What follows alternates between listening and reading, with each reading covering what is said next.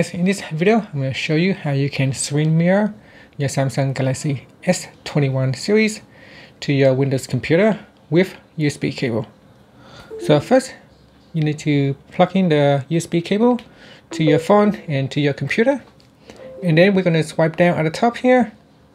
And I'm just going to close Samsung DeX for now. And I'm going to swipe down again and tap on the link to Windows and then once you tap on that you can start linking. So tap on link your phone and PC and then tap on continued. Tap on allowed while using this app. And then it's going to try to scan a QR code on your computer. So on the computer now I'm going to um, open up your phone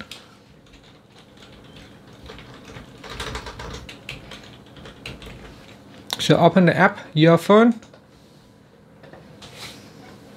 and it says copy and paste between your phone and PC. Uh, so I'm going to click on turn on.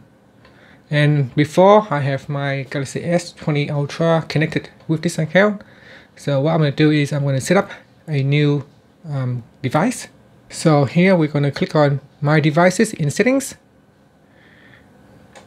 and click on link new device and it says what kind of phone do you have? We're going to choose Android and click on continued. And say um, make sure that you have installed um, your phone companion. So go and check and make sure that your phone companion is already installed on your device. Uh, click on yes I have finished installing your phone companions. And then uh, click on open QR code. So it's generate this um, QR code for we to uh, first use right here. And so I'm just going to try to scan it. And so next up, app permission, tap on the continue button and tap on allowed on the phone, and then allowed, allowed, and allowed. They say check your PC.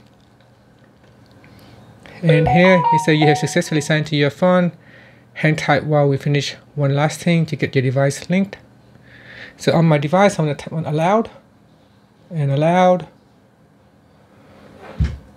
And then click on let's go. And there it is. So here we can um, do things like view notifications messages uh, photos apps and uh, codes okay so to start the screen mirroring you click on this icon right here at the top. You click on it. And say you need the permission so on your device tap on the start now button. And so connecting to your phone. And here it is here is the screen. So you can see if I swipe across uh, it will shows uh, what's on my device on my computer here. And and that's it. So basically uh, that's how you can um, so that's how you can uh, screen mirror your Galaxy S21 uh, S21 Plus or the S21 Ultra to your computer. And you can also view photos directly from this app here you can also view messages or notifications. And that's it. Thank you for watching this video. Please subscribe to my channel for more videos